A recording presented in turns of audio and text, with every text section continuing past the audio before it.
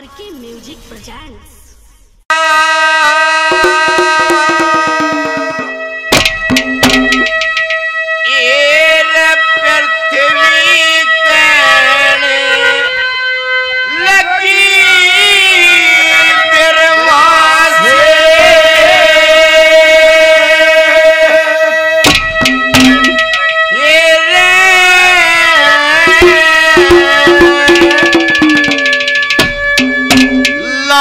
बचा दो